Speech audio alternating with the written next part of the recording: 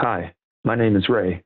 I am a husband, father, and an animator at a video game studio living just outside Raleigh, North Carolina.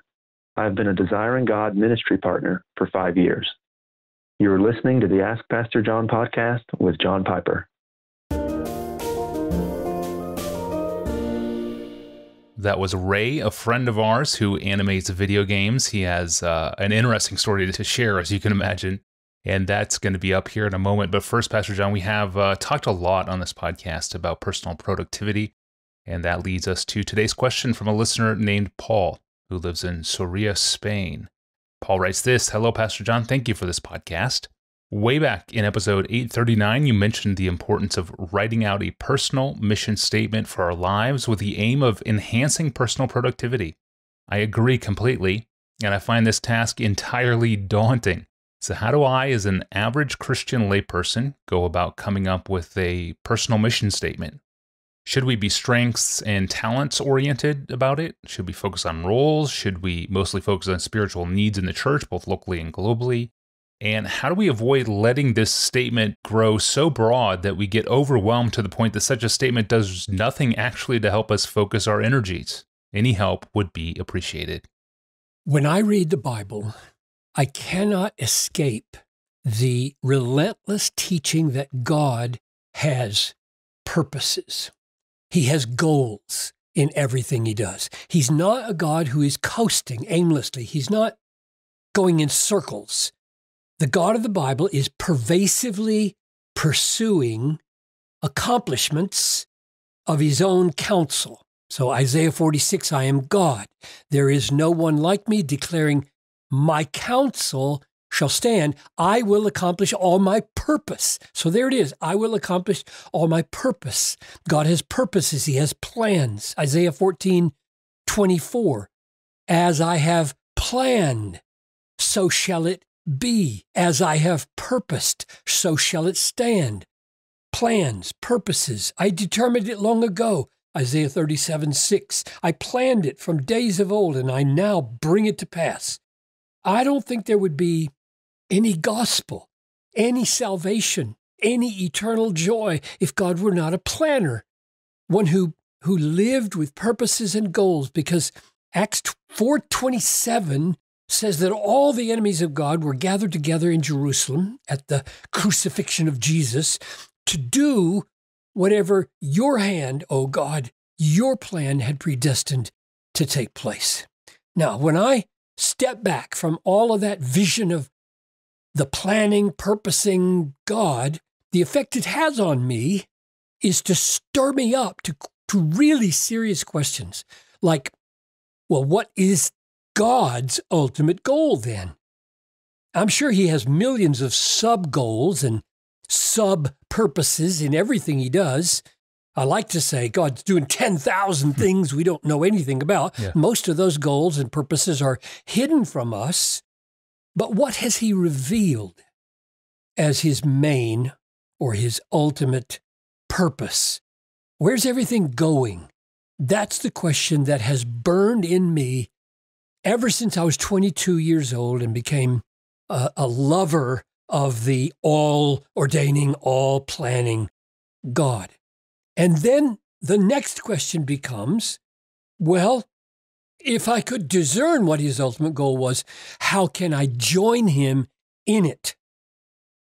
I want to fit in to his ultimate purpose. I don't want to strive against it. I want to be right in sync with what God is pursuing in the world. Nothing seems more obviously reasonable to me or hopeful to me than that God's creatures should gladly fit into his purposes. So surely that's his call on us. That's what he's beckoning us to do. Find my purpose, join me in it.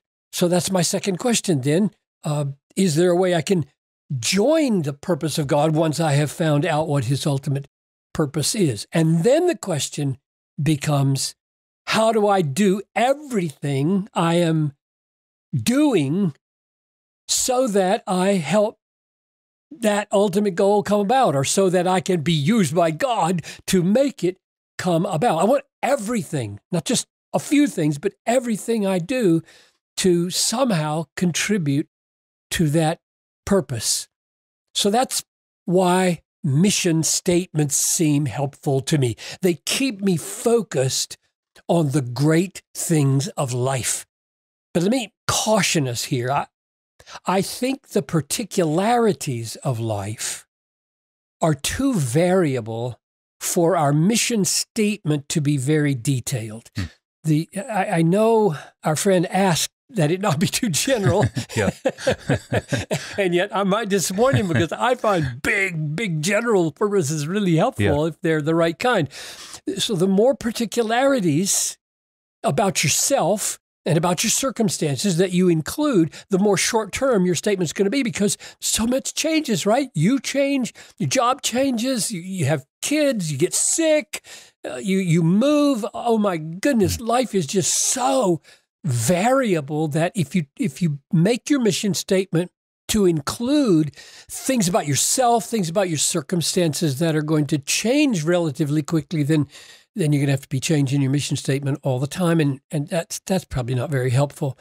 So if you if you want your mission statement to last more than a few years, it will need to be high level and general, and that's mainly what I have in mind when I when I think of my own statements that guide my life. I, I need to be reminded regularly about the big picture of life.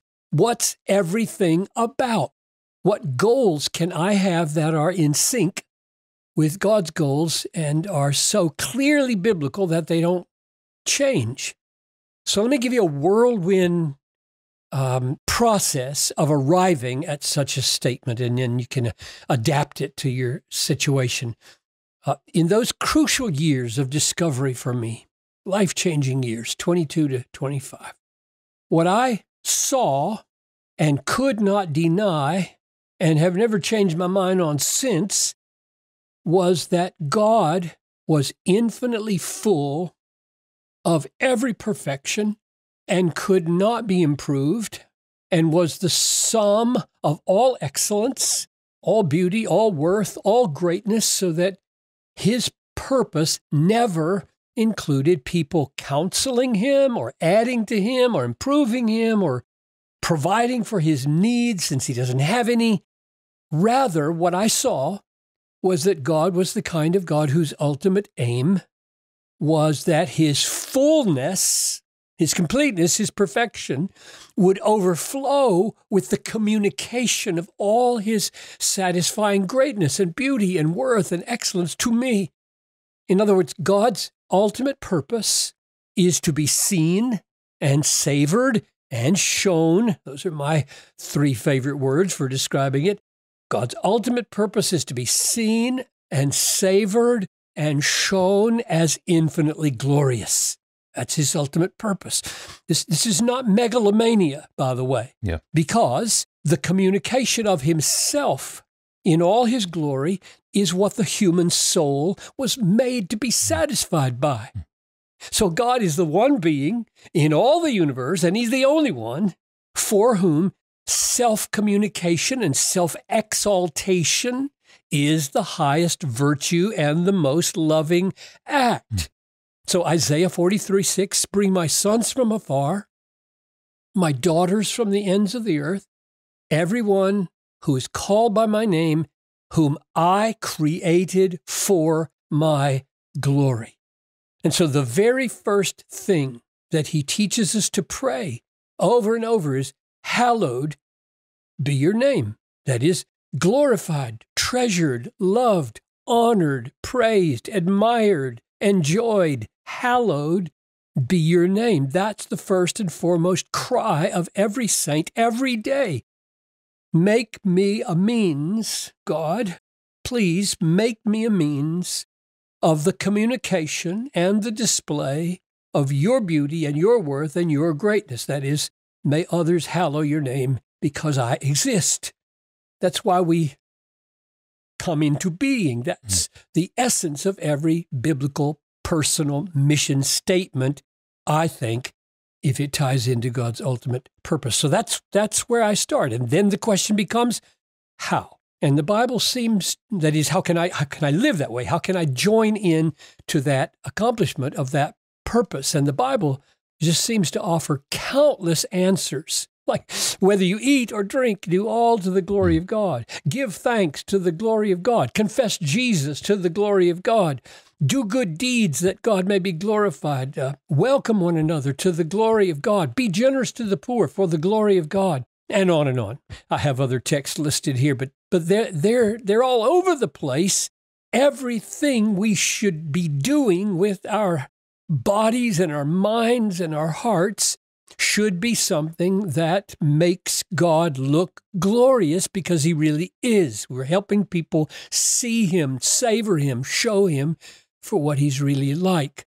So finally, the question becomes is there a common denominator that runs through all of those deeds, all those attitudes, all those words that turn them into God glorifying acts?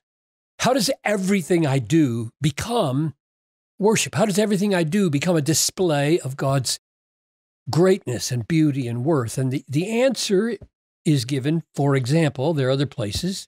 1 Peter 4:11.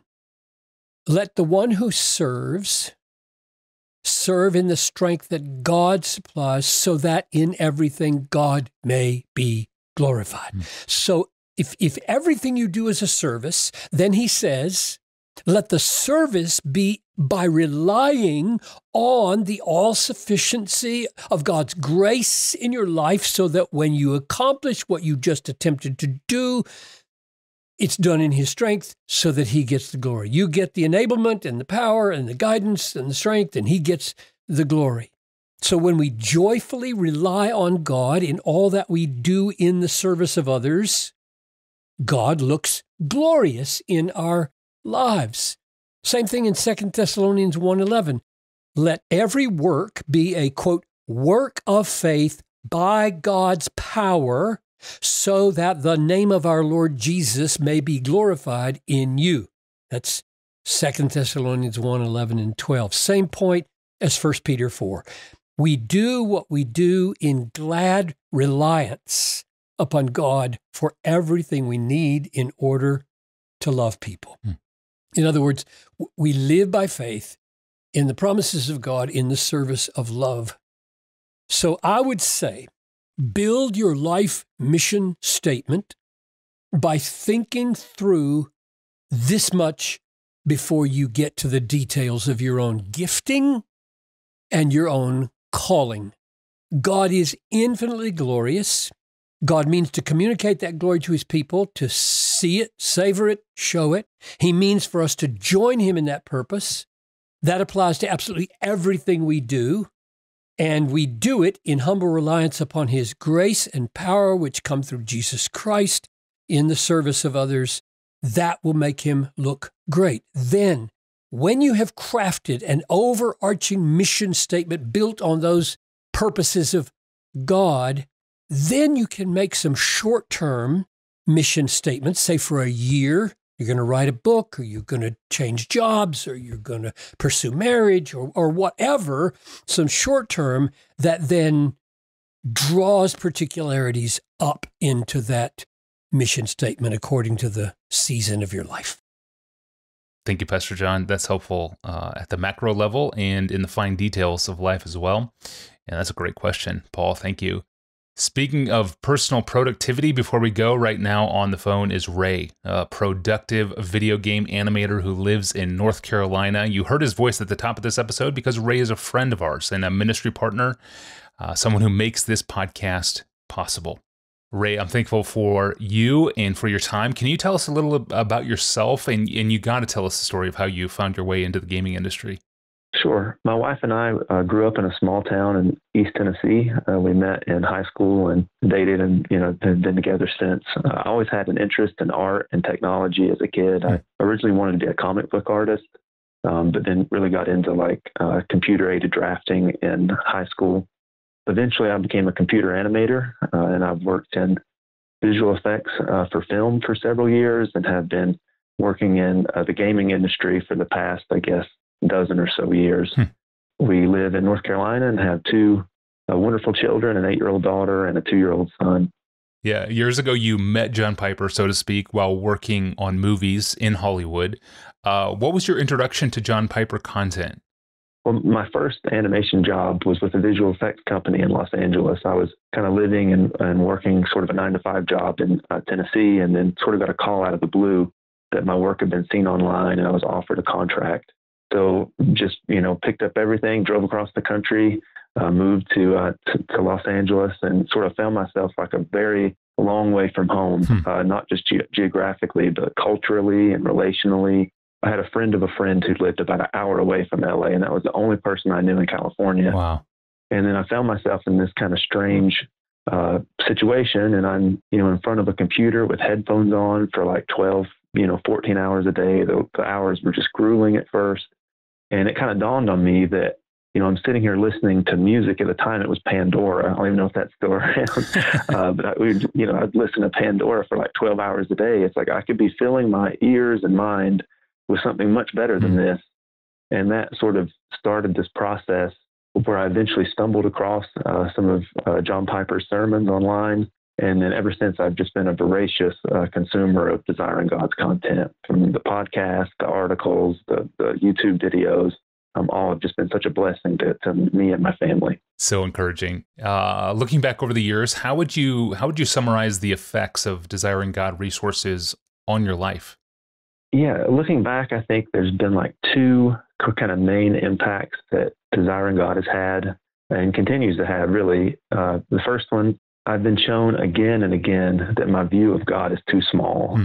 That my uh, outlook into the world is so self-centered and my appreciation for his sovereignty and his uh, gifts is uh, so you know superficial and based on my circumstances so often so short-sighted um, and the second uh, main, major impact is that god's word is deeper and richer and more beautiful and deserves so much more time of my uh, focus and time and attention uh, than i've given it and those two things have impacted pretty much every part yeah. of my life and the life of our family. Powerful. Powerful. Thank you, Ray.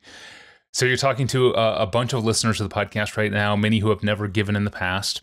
Uh, what would you say to them in this opportunity for them to join you as a ministry partner with us at Desiring God?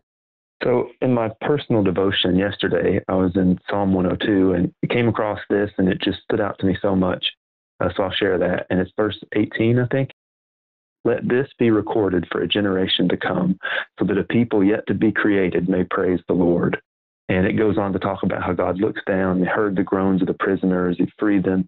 But to me, that sums up why we support Desiring God. Mm. We want to contribute in any small way that we can so that the God glorifying message, you know, that Desiring God consistently puts out, you know, can be recorded for a generation to come so that people yet to be created may praise the Lord you know, our prayer is that people all over the world now and in the future um, will hear the message and be as blessed and uplifted and as drawn to their Bibles and to their knees uh, as we have been by it. Um, and I just feel like, how could we not try to support that uh, in any way that we possibly can. Um, and if anyone, you know, needs proof that that is happening, you can just glance at the YouTube comments on pretty much mm-hmm. anything yeah, yeah. Uh, on Desiring God's channel, and you see messages from people saying, "I was in, a, I desperately needed this. I've been in a dark place." It's like, how can we read those things mm. from our brothers and sisters and not feel like this is absolutely worthy of any support that we can give it?